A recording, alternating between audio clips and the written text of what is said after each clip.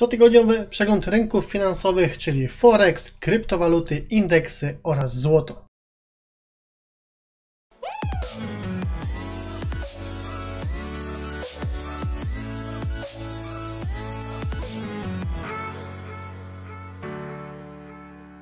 Cześć, z tej strony Łukasz. Witam Cię serdecznie na moim kanale, na kanale związanym z zarabianiem oraz marketingiem w internecie, zarabianiem na rynku kryptowalut oraz na rynku Forex.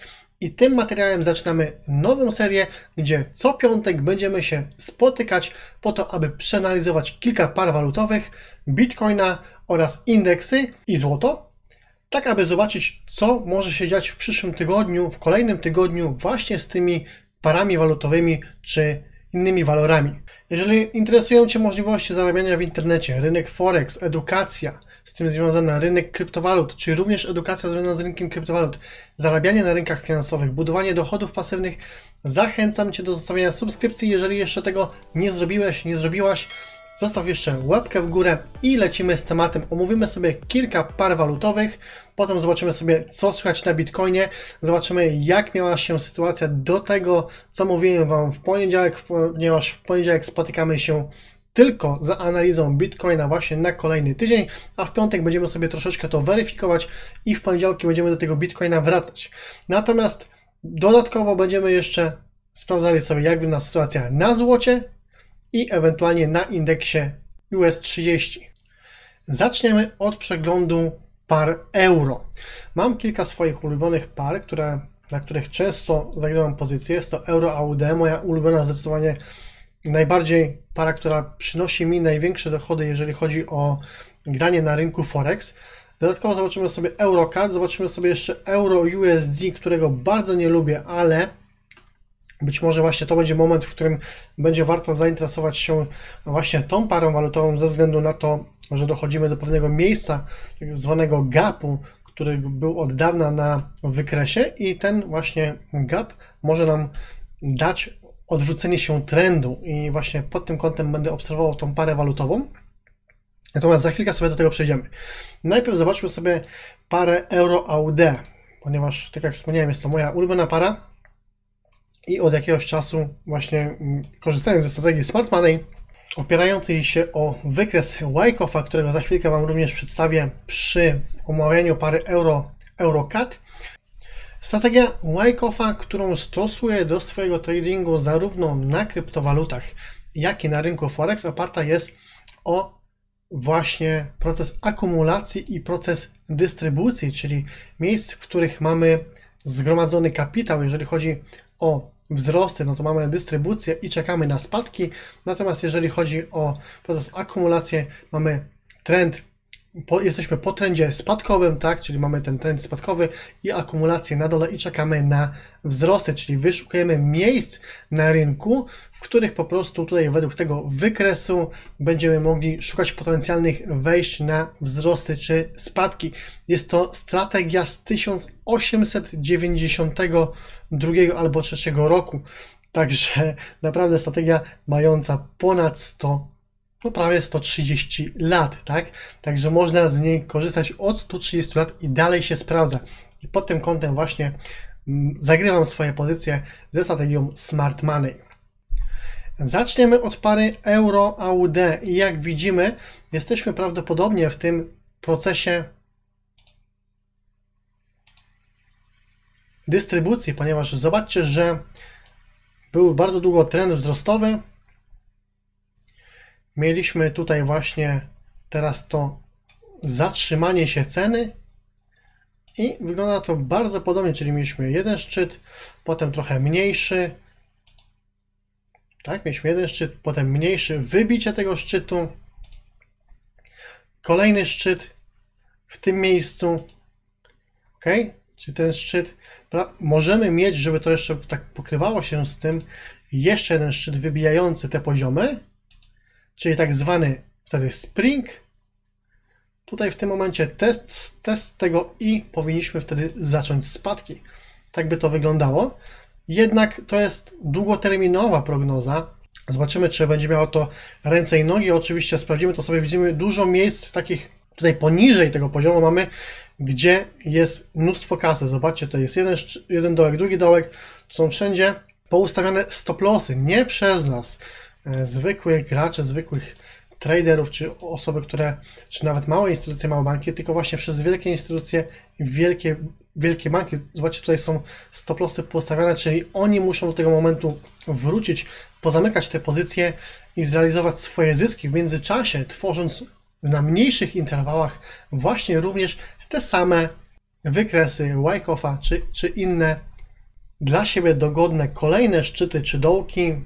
I tutaj jest istotna manipulacja. Niejednokrotnie możemy zobaczyć, że zanim kurs, przykładowo pokażę Wam jedną sytuację, zanim kurs, zobaczcie, zszedł w dół, tak? Tutaj mieliśmy akumulację tych środków, mieliśmy raz, dwa, trzy szczyty. Te szczyty zostały wybite, tak? Tutaj tą jedną świecą jednodniową, po czym kurs zawrócił do tego poziomu i dopiero zaczęły się spadki. Oczywiście te spadki zaczęły się wcześniej, ale oni musieli te swoje pozycje pozamykać i te spadki ponowili, czyli mieliśmy te spadki, tak, ponieważ większość strategii opierających się o właśnie chociażby wykres, gdzie mamy miejsca, tak zwane opory i wsparcia, to często w sytuacji, gdzie mamy właśnie podwójny szczyt czy podwójny dołek, Często osoby zagrywają w przeciwnym kierunku, licząc, że właśnie kurs się odbije, ponieważ jest to mocne wsparcie albo mocny opór. Często tak bywa, że właśnie odbija się na chwilkę, po czym wracają, wybijają te, tak jak, tak jak w tej sytuacji, wybijają te stop lossy, ponieważ tutaj osoby zagrywające na spadki mają nad tymi szczytami stop lossy i mocnym impulsem wybijają te stop lossy. Mówiłem to w poprzednim materiale o manipulacji, jaka jest na rynkach finansowych. Także jeżeli tego jeszcze nie widzieliście, to zapoznajcie się z tym materiałem. Tam pokazywałem Wam przykład mm, patternów darmowej edukacji na rynku Forex, gdzie właśnie w internecie u wujka Google możecie znaleźć paterny mówiące o spadkach, tak? O spadkach czy o wzrostach. Paterny mówiące, w którym kierunku teoretycznie pójdzie kurs. Dlaczego teoretycznie? Ponieważ jest to zrobione tylko po to, aby banki wiedziały, gdzie będą Twoje pieniądze, aby Ci po prostu te pieniądze zabrać, ok? Wybić je całkowicie legalnie, ponieważ jest to legalne, tak?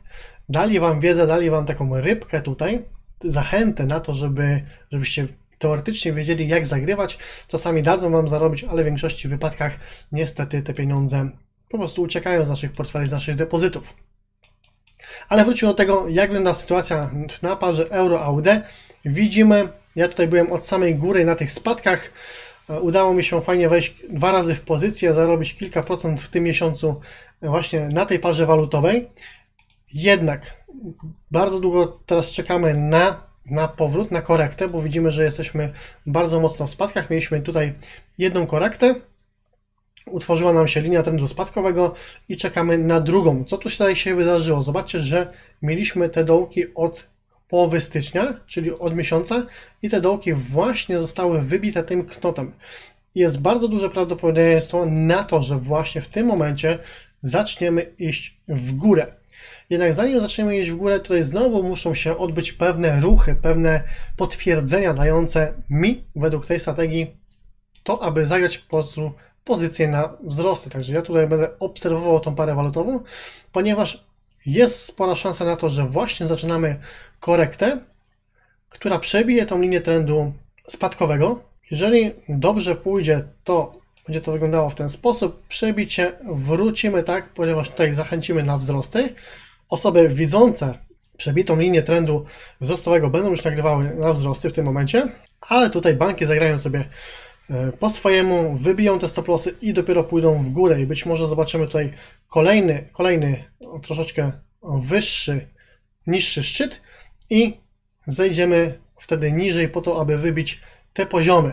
Jednak może być również całkowicie inaczej. Możemy już w tym momencie pójść znacznie, znacznie wyżej, po to, aby stworzyć kolejny szczyt i dopiero w późniejszym terminie te dołki zostaną wybite, czy chociażby te dołki. Zobaczcie, tu jest mnóstwo kasy zostawionych stop lossów przez banki, nie przez takich graczy jak ja czy ty, ponieważ my byśmy no, po prostu tyle psychicznie nie wytrzymali, tak? Ponieważ to jest mnóstwo czasu, kiedy nasze konto maleje, rośnie, maleje, rośnie, maleje, rośnie. E, nikt raczej takich no mało osób jest, które po prostu grają tak długoterminowo i, i przetrzymałyby tą pozycję. Także ja czekam na to, aż Zobaczymy w tym momencie może jeszcze mocniejszy spring, jeszcze mocniej wybijający te poziomy i potem świeczkę wzrostową i być może wtedy będę szukał pozycji na wzrosty. Bardzo jej oczekuję, ponieważ liczę na to jeszcze, że zejdziemy niżej i będzie można złapać tutaj kolejny bardzo fajny, duży ruch, ponieważ jak zobaczycie, e, no zobaczcie, ja jestem, byłem tutaj z tego poziomu, e, to widzimy, że to są ruchy po 200 i więcej pipsów. Nie raz pokazywałem Wam na moim story właśnie te, te 160, 150, 200 pipsów, chociażby tutaj właśnie 157, tak, zagrane w kilka, w kilka godzin, zgarnięte w kilkanaście godzin, ta pozycja została zamknięta, dająca 2%, 2,5% depozytu, także dosyć sporo. Ok, przejdźmy do kolejnej pary walutowej. Tutaj mamy bardzo fajny wykres właśnie tego wake-offa na interwale jednodniowym, czyli mamy ten spadek, tutaj mieliśmy te dołki, tak, niższy dołek i zobaczcie, że jest właśnie wykonany ten spring, czyli ostatnia faza dająca nam potwierdzenie. Potwierdzenie da nam kolejna świeczka e, wzrostowa, wszystkie świeczki wzrostowe, które będą właśnie od tego momentu po wybiciu tych dołków. Jednak jest jeszcze szansa na to, że pary euro pójdą jeszcze troszeczkę w dół, ponieważ euro USD właśnie zmierza do gapu, więc pary euro mogą się na tą chwilę osłabiać po to, żeby jeszcze stworzyć kolejne świeczki, kolejne poziomy, a następnie powinniśmy zobaczyć wzrosty. Na to właśnie będę czekał. Także tutaj mamy idealny wykres Wyckoff'a. Idealny będzie, jeżeli rzeczywiście zobaczymy tutaj kolejne świeczki wzrostowe, tak? Czyli będą szły cyk, cyk, cyk, świeczki wzrostowe, potem zobaczymy chwilowe spadki, kolejne poziomy, i w ten sposób powinniśmy iść po te poziomy tutaj, ponieważ widzimy tutaj również jest mnóstwo kasy zostawionej. Raz, dwa, trzy, cztery szczyty, w zasadzie to nawet prawie pięć, tak, tutaj trochę niższy, także tutaj są stop lossy przez banki, przez instytucje pozostawiane i powinniśmy te poziomy wybić. Tak to wygląda, jeżeli chodzi o wykres Wyckoff'a i bardzo mi się to podoba. Podobnie jest z parą AUD-CAT, jednak tutaj na wykresie jednodniowym czekamy właśnie na ten spring. Dlatego mówię, że euro CAD może zejść jeszcze w dół, ponieważ CAD będzie, czyli kanadyjski dolar będzie właśnie cisnęło po to, aby wybić te poziomy, ponieważ zobaczcie, że tutaj na tym wykresie jesteśmy tak jakby na tych równych dołkach i prawdopodobnie zejdziemy jeszcze, wybijemy te ostatnie poziomy, po czym właśnie zobaczymy wzrosty, tak? Czyli tutaj mieliśmy to samo, spadki, spadki, czyli ten um, climax, szczyt, spring, wyższe szczyty, zejście, czyli e, climax, wyższy szczyt, spring, wejście górą, troszeczkę spadków, tak, czyli to właśnie, co tutaj się dzieje. Zobaczymy spring i powinniśmy zobaczyć wzrosty. Na, ja na to czekam, także obserwuję parę Euro AUD, EuroCAD, AUDCAD oraz inne pary, między innymi USD JPY, czyli USD dolar amerykański do jena. I zobaczcie, co tutaj mamy. Bardzo fajną sytuację. Pamiętam też tutaj zagrywałem na wzrosty. Pokażę Wam na mniejszym interwale czasowym, chociażby na 4 godzinach. Zobaczcie, jaka tutaj była manipulacja. Mieliśmy szczyty, mieliśmy szczyty, zeszliśmy w dół, tak, fajnie tutaj zagrywałem na wzrosty. E, z tego poziomu po wybiciu właśnie tych dołków, nawet mam ostatni moment zaznaczony. Tutaj dotąd miałem swoją pozycję otwartą z samego dołu. Tutaj były wydarzenia dosłownie w ciągu godziny, bo to była godzina czasu, dwie godziny może e, te wydarzenia, które tak naprawdę są robione po to, żeby była manipulacja i właśnie, żeby mogli pod pretekstem wydarzeń wybić stop lossy. Zobaczcie, że tym wszystkim, którzy tutaj zagrywali swoje pozycje na wzrosty, tymi dwoma godzinami zostało to wybite, po czym poszli w górę, tak? Poszli w górę i co zrobili? I wybili te szczyty i wybili te szczyty. I teraz mamy troszeczkę spadków, kolejne wzrosty i ja tutaj czekam, ja tutaj czekam, słuchajcie, na wypełnienie tego gapu. Ok, czyli mamy sytuację, która miała miejsce w 2019 roku, w maju, gdzie rynek nam się otworzył właśnie, zobaczcie, tutaj nam się rynek zamknął w, nie, w piątek o 23, a otworzył nam się kilkadziesiąt pipsów prawie 100 pips, 74 pipsy, 75, powiedzmy 80 pipsów poniżej, tak? Tutaj jest świeczka otwierająca się w niedzielę o 23 i rynek musi do tego momentu wrócić, zamknąć swoje pozycje. Zobaczcie, że często jest tak, że ludzie zagrywają od razu na wzrosty, żeby ten gap się zamknął. Oni tutaj doszli do pewnego poziomu i zeszli jeszcze w dół i dopiero teraz dążą do tego, aby ten gap właśnie został zamknięty. Zobaczcie, że dopiero po roku czasu są bardzo wysoko i jest bardzo duża szansa na to, że właśnie ten gap zostanie zamknięty. Tym bardziej, że na dole nie mamy aż takich poziomów. Zobaczcie, nawet ten knot został wybity. Ten randomowy knot z stycznia 2019. Na większości par walutowych właśnie było coś takiego.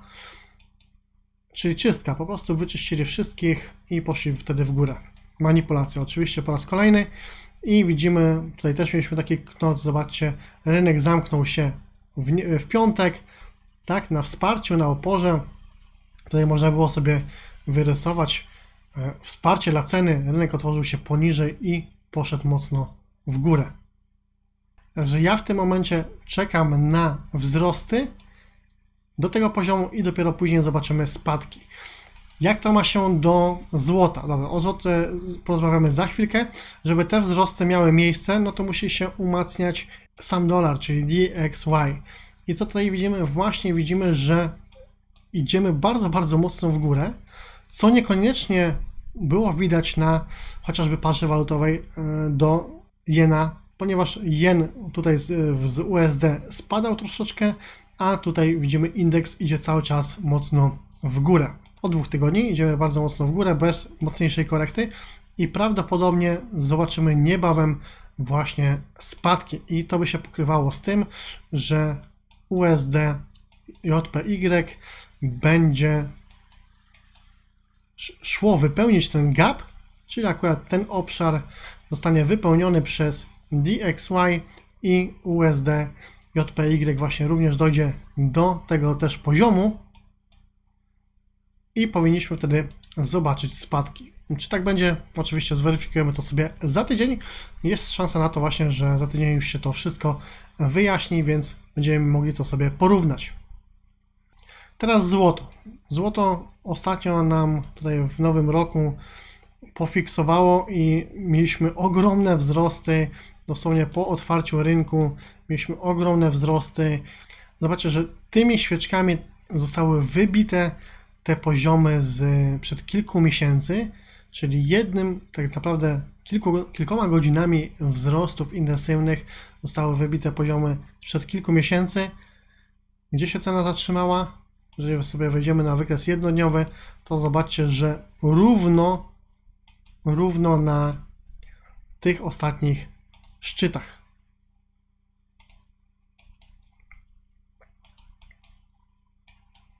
To jest, no zabrakło, zabrakło kilku, kilku pipsów, kilkunastu pipsów, także rynek ma swoje miejsca, do których po prostu musi w pewnym momencie dojść po to, żeby pozamykać swoje pozycje. Banki doskonale wiedzą, jak to zagrać. I jak ja to widzę w tym momencie, jeżeli chodzi o złoto, to widzę to spadkowo, ale najpierw właśnie musimy dojść do tego poziomu i powinniśmy zobaczyć spadki. Jednak właśnie tu może się wykluczać to z DXY, ponieważ jeżeli DXY e, rośnie, ale zobaczcie, że właśnie DXY ostatnio rosło, rosło, ale w tym samym czasie złoto rosło, co jest istotną manipulacją, ponieważ jest złoto jest notowane do dolara, więc jeżeli dolar rośnie, to złoto powinno spadać, a dolar rósł i co się działo? Złoto również rosło. Także jak sobie porównacie te wykresy, to często jest to odbicie lustrzane, ok? A jeżeli nie jest to odbicie lustrzane, to znaczy właśnie, że jest manipulacja tutaj na, na tym walorze, no i warto to obserwować. Jeżeli DXY miałby teraz rosnąć do tego poziomu, który Wam pokazywałem, no to złoto powinno spaść przynajmniej do tego poziomu i później się umocnić. Wtedy jeżeli to by było lustrzane odbicie, no to w tym momencie powinniśmy zobaczyć na złocie spadki. Wtedy DXY by rosło do tamtego poziomu. Następnie na złocie zobaczymy wzrosty. DXY będzie wtedy spadać, po czym DXY zacznie rosnąć, a złoto zacznie spadać. Także sprawdzimy to sobie za tydzień, zobaczymy, czy ma to sens, czy nie. W tym momencie ja mam wyznaczone poziomy na spadki i mam również wyznaczone poziomy ewentualnie na wzrosty, ale na to sobie poczekamy, ponieważ bardziej złoto jest w tym momencie dla mnie prospadkowe niż wzrostowe. Widzimy tutaj też szczyty, które trzeba wybić. Jeżeli to zostanie wybite wcześniej, no to tutaj muszą zostać utworzone jeszcze inne szczyty po to, aby kurs miał po co do nich wrócić. Przykładowo dojdą tutaj sobie cyk, cyk, cyk, zejdą, wybiją te poziomy, zrobi się spring, wrócą wtedy tutaj, tak, wybiją te, te szczyty, bo tutaj widzimy, że mamy też podwójny szczyt, tutaj będzie wtedy potrójny szczyt, wybiją to, zamkną swoje pozycje i zaczniemy spadać.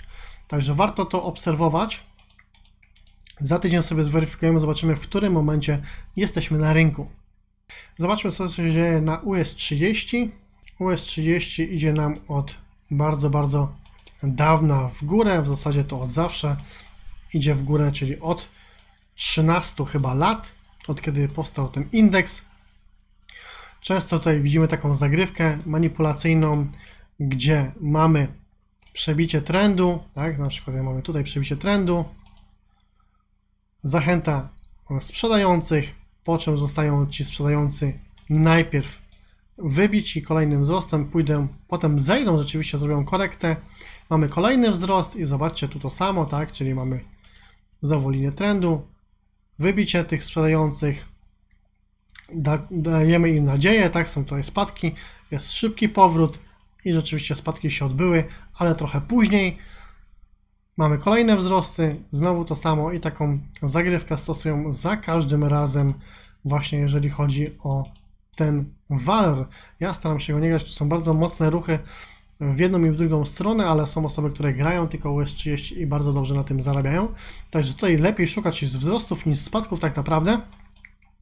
Chociaż mieliśmy tutaj bardzo fajną sytuację wczoraj chyba tak. Zobaczmy sobie, chociaż może to lepiej na dwóch godzinach o, idealnie na dwóch godzinach mamy właśnie tą świeczkę, która wybiła te poziomy, zeszli niżej, doszli do tego poziomu i dali wejście fajne na 100 pipsów, 120 pipsów, 100 plus 67, czyli 2 prawie do 1 można było tutaj zyskać, 2% zyskać.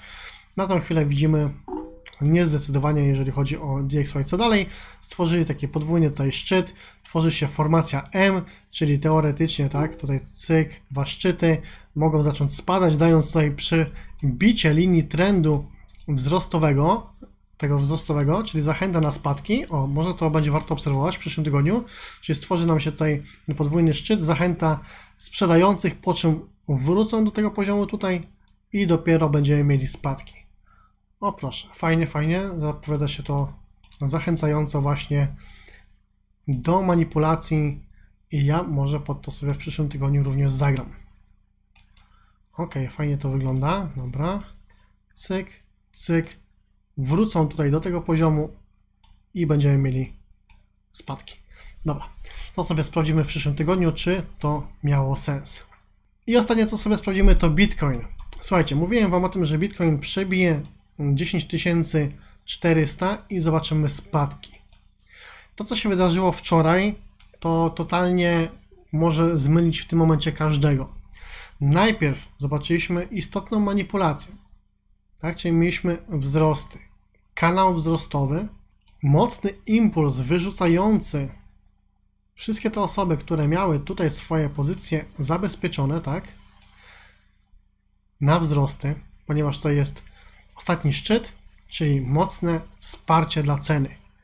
Ostatni szczyt tego kanału potwierdzający ten opór, te wsparcie, przepraszam, i wybicie tego. Po chwili zobaczyliśmy mocne wzrosty. Tu miałem swoje poziomy wyznaczone na spadki i najpierw zacząłem, wystawiłem pozycję na Bitcoinie i na Ethereum na spadki, po czym zamknąłem te pozycje z lekką stratą i otworzyłem nowe na wzrosty. Tutaj mi się one pozamykały. Pozamykały mi się one na plusie oczywiście i w tym momencie szczerze mówiąc nie wiem, w którą stronę idziemy. Jeszcze kiedy nie było tych świeczek, nie było tego poziomu, to widziałem to w następujący sposób. zejście do, tej, do tego poziomu to jest 50% świeczki 4-godzinnej, powrót do tego poziomu i spadki. Natomiast zobaczcie, co się wydarzyło. Kurs nam poszedł. Kurs nam poszedł mocno, dosłownie jeszcze raz. Widzieliśmy, że dosłownie w ciągu godziny mieliśmy wzrosty i spadki na kilkaset dolarów. I tak naprawdę wszyscy kupujący i wszyscy sprzedający w tym czasie zostali prawdopodobnie wyrzuceni z rynku.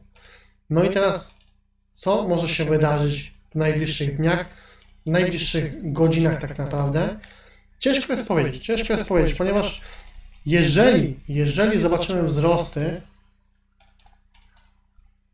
i przebijemy te poziomy, to ja bym obstawiał w ten sposób, że wybijemy to, dojdziemy do powiedzmy 10 tysięcy, 11 tysięcy, ponieważ tam są też dwa szczyty, zejdziemy do tego poziomu, ponieważ ten poziom był miejscem, w którym zaczęła się bardzo duża manipulacja, wyrzucająca zarówno kupujących, jak i sprzedających, po czym zobaczymy wzrosty do 12 tysięcy, a następnie myślę, że będziemy spadać, mocno spadać nawet do 6 do 7 tysięcy. I bardzo, bardzo, bardzo sobie tego życzę. Bardzo sobie tego życzę. Chciałbym właśnie znowu kupić bitcoina za 6 tysięcy, 7 tysięcy dolarów przed nie o tyle co halvingiem, co po halvingu. Ponieważ ja uważam, że nowe szczyty, nowe ATH, jeżeli mamy zobaczyć, to nie będzie przed halvingiem, tylko po halvingu. Przed halvingiem zobaczymy właśnie te wzrosty. To nie musi być teraz, to może wydłużyć się w czasie, nawet powiedzmy około miesiąca, nawet dwóch miesięcy. Tak, możemy się bujać do tych 12 tysięcy. Po to, aby przed samym halvingiem zrealizować zyski, ponieważ dużo osób teraz kupowało, i potem będzie realizacja zysków, ludzie będą sprzedawali przed samym halvingiem. Ok, tak to właśnie widzę w tym momencie. Jeżeli chodzi o Bitcoina, a na temat Bitcoina porozmawiamy sobie jeszcze w poniedziałek i zobaczymy, jak to się ma do tego, co powiedziałem Wam teraz. Ok, przeanalizowaliśmy kilka par walutowych. Mamy pogląd na to, co może dziać się na Bitcoinie, na dolarze i parach walutowych z dolarem. Za tydzień zobaczymy sobie może jeszcze olej do tego dodatkowo. A na tą chwilę kończymy ten odcinek. Do zobaczenia w kolejnym materiale. Pamiętajcie, aby subskrybować kanał, zostawcie łapkę w górę. Niech hajs będzie z Wami piona.